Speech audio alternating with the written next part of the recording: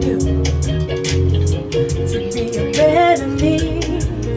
I can cause it to be taking good care of myself, my wellness and health, mind, body, and soul, so I can be whole.